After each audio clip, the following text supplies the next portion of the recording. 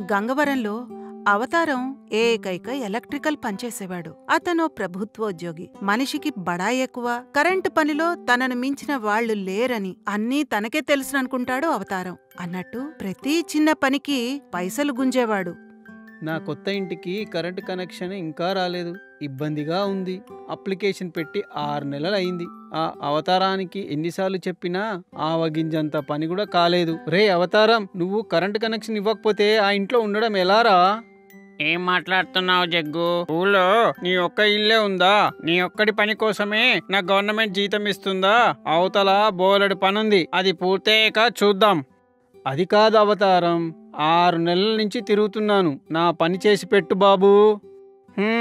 ముందు నీ పని చెయ్యాలంటే ఓ వెయ్యి రూపాయలు బోనీ కొట్టు. అలాగైతేనే ఆలోచిస్తాను. చూడు అవతారం అంత ఇచ్చుకోలేను. అలాగైతే మరో ఆరు నెలలు ఆగు.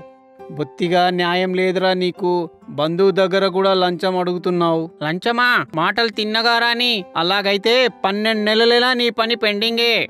అలా ఎలక్ట్రీషియన్ అవతారం ప్రతి పని పెండింగ్లో పెడుతూ పని చేయమని అడిగే వాళ్ళ దగ్గర లంచాలు గుంజుతూ పబ్బం గడుపుతున్నాడు. ఊళ్ళో వారంతా అతన్ని ఏమీ అనలేక తల పట్టుకుంటున్నారు. ఓ రోజు ఆ ఊరికి ఓ కొత్త ఆయన వచ్చాడు. ఇదిగో మిస్టర్ ఈ ఊళ్ళో అవతారం ఎవరు? నేనేనండి. ఏం కావాలి? ఈ ఊళ్ళో నేను కొత్తగా ఇల్లు కడుతున్నాను. పని పూర్తి కావస్తోంది. నాకు కరెంటు కనెక్షన్ కావాలి. కాకపోతే కొంచెం అర్జెంటు. అలాగేనండి. తప్పకుండా చూద్దాం. కాకపోతే మూడు వేలు మామూలు కొట్టించండి. ఏమన్నావ్? మూడు వేల? పైసా కూడా తగ్గదు. అప్లికేషన్ తీసుకోవాలంటే ఆ పాటి ఇచ్చుకోవాలి. లేకపోతే ఆఫీస్ చుట్టూ తిరగాల్సిందే. అలాగా?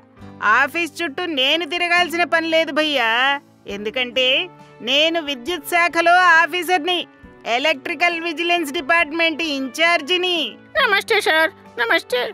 తప్పైపోయింది సార్ మన్నించండి సార్. విజిలెన్స్ అధికారి పేరు విజయ్. అవతారం గురించి ఆయనకు చాలా ఫిర్యాదులు వచ్చాయి. అందుకే విజయ్ పథకం వేశాడు. అవతారాన్ని రెడ్ హ్యాండెడ్గా పట్టుకున్నాడు. దాని ఫలితంగా మన లంచ్ అవతారం గారి ఉద్యోగం ఊడిపోయింది. ఊరంతా సంతోషించింది. అందుకే అన్నారు పెడదారి పడితే పెనుముప్పు తప్పదు అని